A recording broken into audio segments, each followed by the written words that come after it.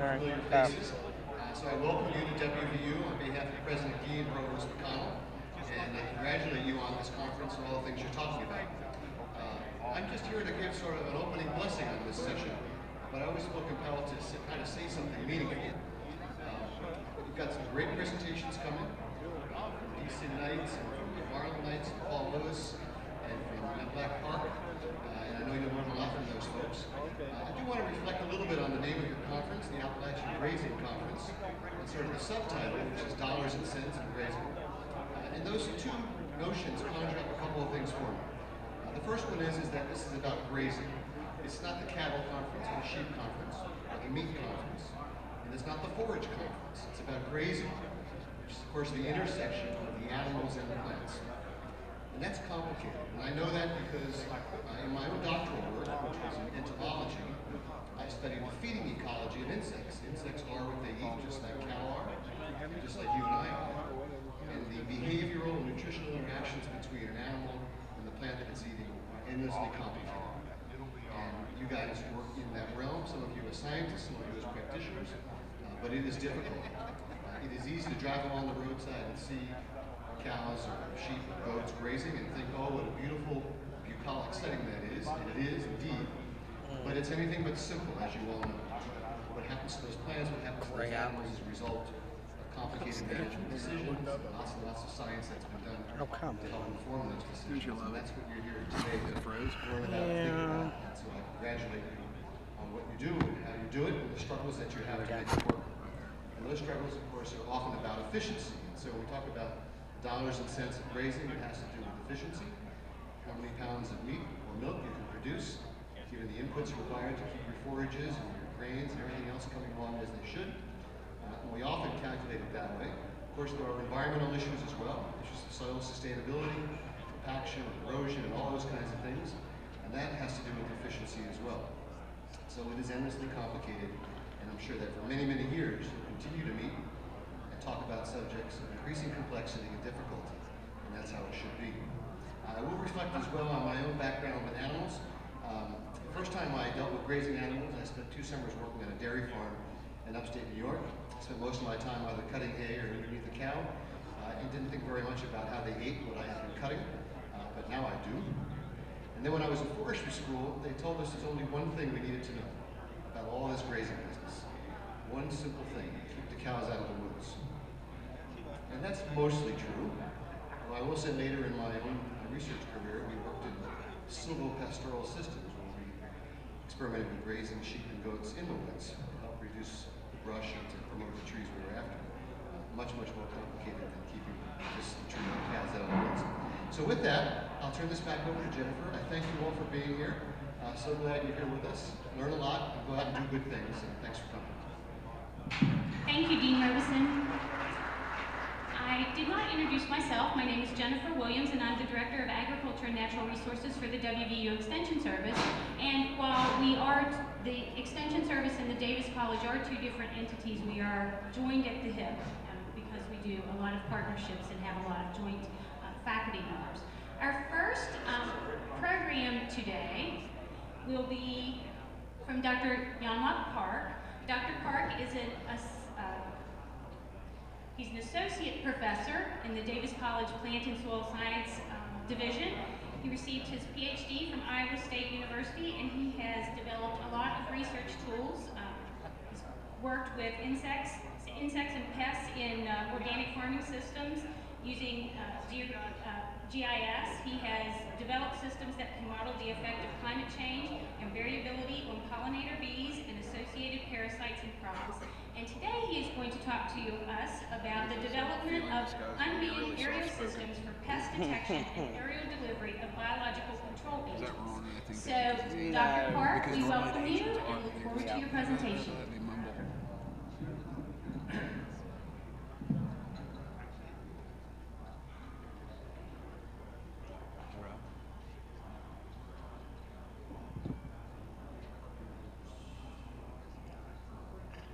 Okay, uh, thanks for the introduction. You're right. And uh, this is very unusual stage for me to speak about insects and other systems, and especially goats. and my talk will be very unusual to you too. So I hope we have some common interest at the end of this uh, presentation. Okay, uh, in the news, have you heard about the uh, like a drone delivery pizza, right? And you call it Amazon Air. So because in the think about the New York City, so many people are living there, and then, you know, ground like a delivery is very limited. Sometimes it takes forever. So the idea comes, why don't we use drone, right? Go there and then drop it, and then then customer just receive it. So wherever actually we have a necessity, we develop Yeah. something, right? It may not go right away, Hold on. but Are you there? have it. So I'm, the, I'm a kind of scientist, researcher working kind of for the future. Yeah, I'm here. What's up? Actually, the presentation I'm going to show is not going to happen right away. Okay, it'll take some time, but we'll get there. So we have been using like satellites to monitor the field, the crops, or even you know real estate uh, Yeah. things. But the problem is All right. it's so expensive to get it. Even this is actually is called uh, NAPP program, National Agriculture Photography Program. So every four years, the government fly over entire United States and take an aerial picture like this, satellite picture, and then provide it you for free. That's good thing. So this is California. If you zoom in small area, you can see this kind of things. This is infrared, which means the crop is red, okay, and gray is more likely like uh, brown, and you see a couple of vehicles coming there. So this has a good information. If you have like a thousands and thousands of acres of your field, you don't want to go every spot, right? So you, we use this kind of technology to monitor in a very, you know, short period of time. Also, you can hire Seems somebody okay. who can fly over using airplane, and they take an aerial picture for you. It takes about two to three thousand dollars for a small area. You can get it. And if you have to zoom in, actually just see it. It's like a less than one yard resolution. Okay, so it's very good. However, some of this actually technology is not real time. If you take a picture, you have to wait about three months to get the image. Sometimes it's too late, right? I want to see where my like, boats are, okay, using airplane. But three months later, boats will be there? Maybe not, right? So this is a kind of this is good technology, but many times it's out out there. So sometimes, not always, but sometimes we need like a, to survey large areas, right, in real time, right, with high resolution image. Especially, there are some areas it's hard to reach, like uh, in the middle of the forest. Who is going to go there to get something, right? So, and all of these maybe can be done by using unmanned aerial vehicles. It's wrong. So here we go. What is actually UAV, unmanned aerial vehicles? Basically no pilot on board. Unmanned, right? So we call it drone, right? So here we go. Uh, at WVU, we have an aerospace engineering, engineering program. I'm an entomologist from agriculture. Okay? I have a partner in uh, engineering, they have developed this UAV systems for, for many different purposes. So they have, we have like big airplanes, which means it can carry a lot, right? We have also jet. It like flies 150 miles per hour. So which means if something happened very far away, or we can send this one to something, right? Because it fly very fast. And we have a helicopter. It, it, it flies slow, but it can hover, And we have very small UAVs, which means we can carry like very light, like five pounds, ten pounds, or you can put in the backpack, you know, go hike and fly over. So there are actually multiple UAV systems available at uh, WVU. And this is not just an RC airplane, you know, you, you know, fly the small airplane with like a remote controller. We are not talking about those things. Can be autonomous, which means nobody is flying. We program the, the UAV and do something for us. It's possible because those UAV has GPS units. So they get signal from satellite and they know exactly where they are. Okay? And then we program it, hey, go there and take a picture, and go there and spray pesticide, and return back. And they will do it without controlling because we already programmed. Okay? It's called autonomous. Yeah, it is. So uh, in uh, my research team with, uh, with the right. engineers, actually, we have Bye. developed uh, like uh, some UAV systems that can be used for insect detection, pest management, weed detection, and any other purposes. So I started from 2007, and I'm going to show you how we develop and where we go. And then as a grower or as a professional, just think about it. This really available. How you are going to use it, okay? In 2007, we did a pilot study. So basically, I want to know how detailed this UAV can see what happened on the ground. Okay? Then we actually tested what we can detect in vineyard in California. And then, surely, if weed can be detected, how about insects? They fly around. What's, can detect them? And then, detection is not one thing. How about we can deliver something? Pesticide, natural enemies, right? Using this technology. So this is what I'm going to talk today. So in 2007 and 2008, uh, we did a proof of concept study in Jane West Virginia. Okay? And we used a uh, UAV, okay, donated by the military. This is actually MiG, uh, like a, uh, the styrofoam based, based like uh, small UAV. So what they do is in military, they use this one for shooting practice. They just shoot it down. Okay, so it's very cheap. Okay, so we, you know, we got donation and we should use it. What we did was we put the camera underneath so that they can take a picture, right? And then we put the black box, you know, black box in the airplane, right? It records how far and where and when they go, right? So we we put GPS so we can track them down. This is actually one first picture we took from the UAV, not the first picture, but for us, for as an agriculturist, this is the first picture we see. So this is actually the uh, can you see uh, like uh, airstrip? This is airstrip in Jacksonville, okay, in, uh, in Jane Lew, uh, West Virginia. And now I'm going to show you. Okay. Can you see this small box? There are a couple of people there, right? If you zoom in, I'm going to show you zoom in. So now we know what they do. They are looking up, right? Give me another one. Three of them, right? Okay, how about, can you see small box down there? Right? Like somebody's doing something. I'm gonna zoom in. Here we go. Three guys are walking. It looks like this guy has a, this guy has a hat, right? This guy does not have a hair, bald, right? So, this is a resolution. What up, So, dog? oh, Okay. If he fly a little bit lower, right? Okay, so what you're going to do is go in the front door, go ahead and check in and take your bags upstairs. This is one picture uh, took from the And when you check in, tell them you're going to self you see the park. car is driving, And then you just park your uh, park the car in the parking lot, parking garage, You zoom in one more. and then call me and I'll tell you how to get here. Okay, here we go. Oh, All right, I'll see you in way a little bit. Okay. Bye. Here we go. You see the car. If you're a car expert, you may see. You may know what kind of brand that you know the car is. No, it just sort of. And actually, if you look at this corner, there is a green sticker. It's a registration sticker, right? It's kind of colored green.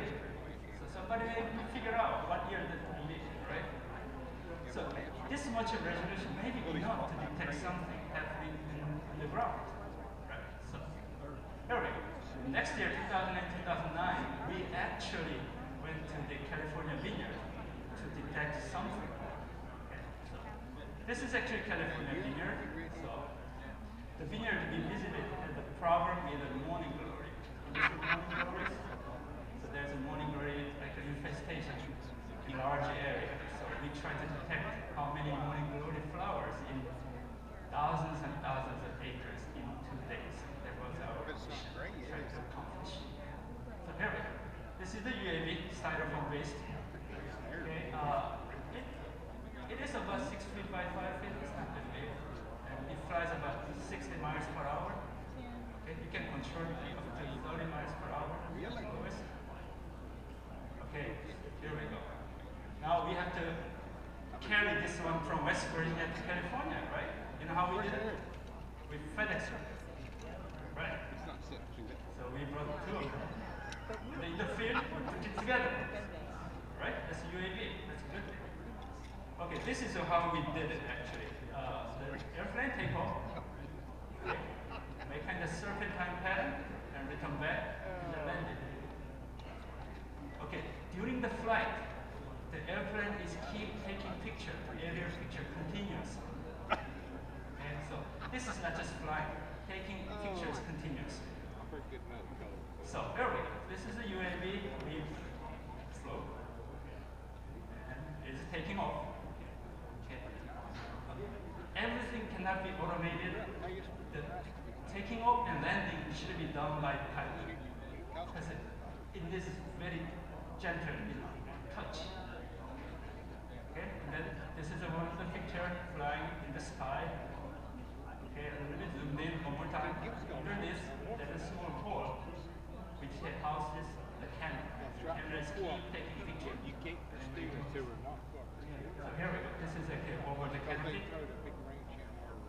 Okay, again, this UAV has a black box. Okay, so which means we know the altitude at a certain time.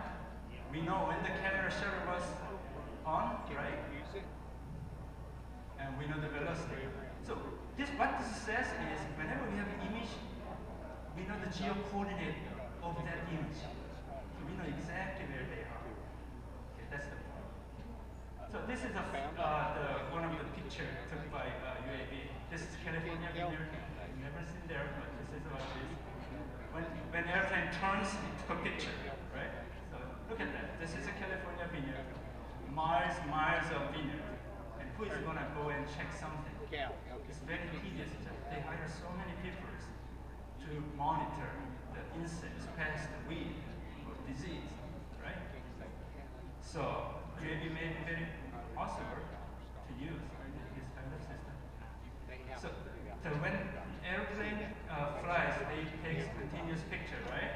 The, the, right? So which means there's not one image. There's a, thousands and thousands of images, right? What we need is just one big image, right? So we have to make a composite image, okay, by putting together. So this is how we do it. So this is all automated these days. You just put the uh, files and there's a program they put together. Okay, this is actually the uh, one of the images. I'll show you. So this is a vineyard. Do you see morning glory? okay. So when you do the image analysis, we have to enhance the image. Look at that. So now we enhanced a little bit. Uh, okay, now can you see it? Look at small red dots here. Those are actually morning glories. Okay. This is not it. Okay, now we are going to filter on it so that those morning glories pops up. So morning glory is red. We are going to put opposite color of the filter, which is green. So now actually up a little bit better. Okay, so more time. This is the original image. Okay, we enhanced. Now you see morning glory, right? We put the filter and convert to black and white. So morning glory become white, and all other backgrounds become black. Now actually we can count it.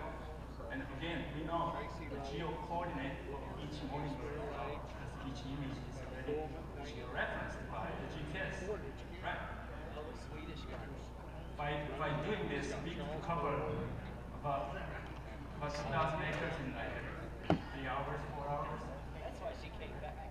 So, UAV crashes. Airplane crashes sometimes. Uh, my engineer partner always told me that there are two types of airplanes. You know what, the, what those are? One is already crashed. The other is one is going to crash. Okay. So here we. So the, we had the airplane crash, I mean, UAV crash. Because we do not use like a flammable fuel, so there's no fire, okay? And second, look at that. This is my engineering partner. He's smiling after crash. Do you know why he smiled after crash? You know what happened after this? We fit together with the glue and duct tape. We fly again. That's the beauty of UAV. Unmanned. Even there is a crash, there's no, you know, there's no loss of the lives. So by having this kind of result from California with detection, so now actually we are moving to what about insects on the ground? I'm an entomologist. I want to see insects on the ground. Right? Here we go. So in, in, in Pennsylvania, uh, we had a small study. So this is about one meter by one meter small plant bed. Okay, we put some plants. And after that, we hide those insects on the bed. Okay? And then we fly over and take a picture. Can you see? This is a one meter, one meter by one meter you know, plant bed. Up there, can you see? This is a glove. The size of glove. Okay. Now we're going to zoom in. So zoom in, here we go. This is what we see. Here we go. Can you see these butterflies? I'm an entomologist. I can tell what those are. But anyway, so those are the butterflies we detected. And this is a coffee plant. We mimicked like uh, insect feeding. So this part is gone. So you could, we could see. So we conclude that the resolution we can get is about less than inch. What that means is if you drop a coin, okay, we fly over and we can detect it. We don't know. It's a dime or you know quarter, we don't know, but we can detect there is a coin. Okay? So that's the resolution. So anything bigger than a coin, we can easily detect. That's the conclusion, right? Okay, now actually keep looking from the sky is good thing, but we're kind of bored. So we, why don't we do something out there? Why don't we deliver? So we have actually the lead uh, scientist, Rakesh Chandra. I think, uh, I don't know if he's here or not, but he has an idea. Hey, why don't we shoot insects to kill the weed? Okay, so we, we tried. So we worked with the mile-a-minute weed. Have you heard of mile-a-minute?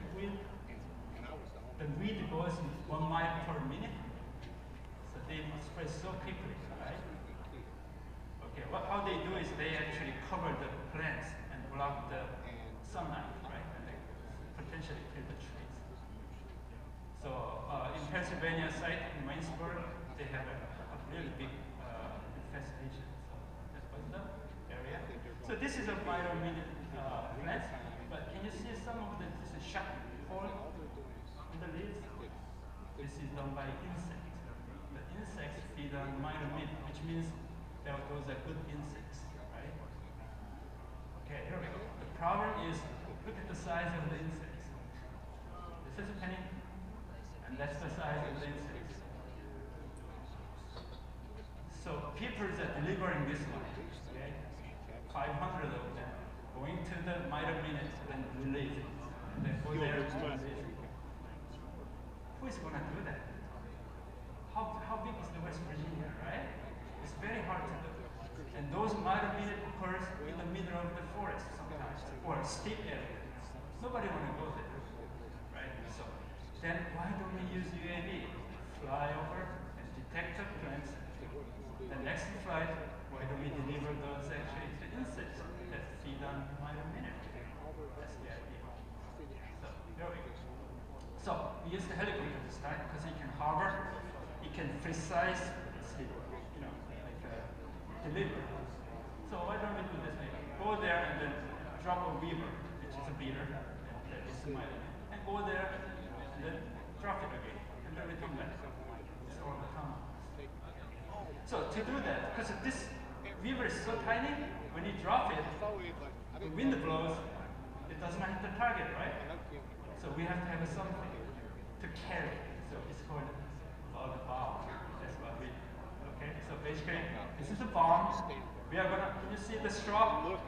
Inside the straw we are gonna put the insects. When it drop the ground and hit the ground, it them out, and then find the, the wheel, wheel. So, can you see we have a float, float, and this is actually the our load mount, five of them for the first trial. We have to have a proof of concept, right? So I use my engineer again, and keep using it. So he climb up to the uh, engineering building, and he's gonna drop it. So if he drops on the ground, we, we wanna recover it, right? So here, here's after hitting the ground. The cover go away, that's good. You see weevils? Here we, have three weevils. It's so tiny, so we recover them and rear them to see if they do normal things, mating, feeding, right, reproducing, and they did. Okay. So, but now actually we have to go to the field, right? We have to actually do it.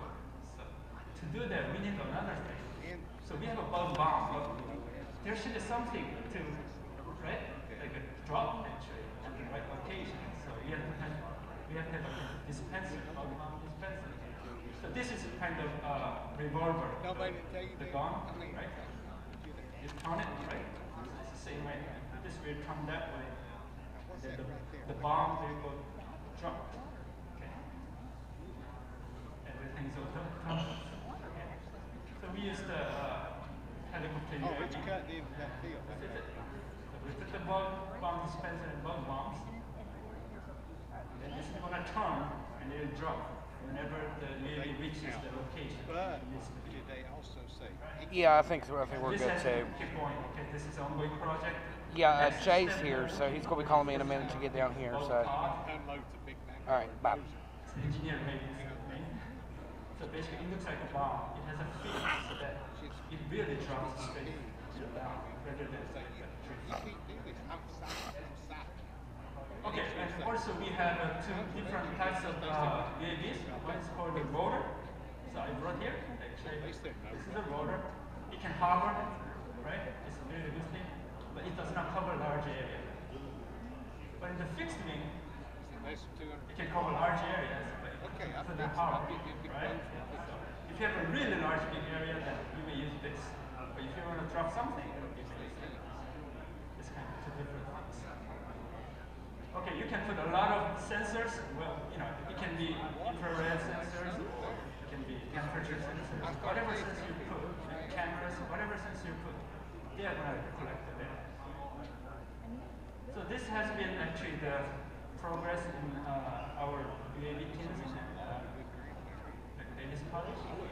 And we are looking forward to working in other systems. And we have been working on a couple of systems, but Raging may be a good system to work on with this kind of uh. Okay, this is actually my uh, agencies and collaborators. Here. This is our uh, UAV teams. So, our collaborators works really hard. This is a winter time. Can you see the snow covered? We try to fly over because something can be detected very easily during the winter and the summer. And what we do is the engine didn't work, so we try to jump start the car. It has to be warm up, right? Okay. I have a couple of photos actually that may be like uh, relevant to this uh, conference. So this is the un- unintentionally, you know, taken photo from the sky. So this is actually the one area, like uh, some grow, a couple of grows are uh, burying haze. And I want to show how detailed can see. So this is the one But image. the pipeline kept. You look at that area, it goes that much. So we see how those actually, you know, the grasses, you know, like lie down and it's really hard. Okay, there's a one of the tractor is kind of familiar to me. If you look at this area, now you see it has like a white band here and some detail. Here. So sometimes you see this kind of edge. I want to know what happens. Why actually this is not green? If you zoom in, you see actually the each, you can see each of these grasses. So by having this much uh, resolution, I think you can do a lot of things without going out and monitor, here. Uh, I'm working in organic farms and we always lose our sheep and lambs, And we want to find them, we chase them. I want to use a UAV to see where they are. Especially these animals as a warm-blooded, which means if you use an infrared camera, we can spot it even though they are kind of hidden. Also, you can put any sensors even the UAV or even animals, so that they can communicate with UAV so that we can chase uh, each animal. I think this is about it. Thanks for listening.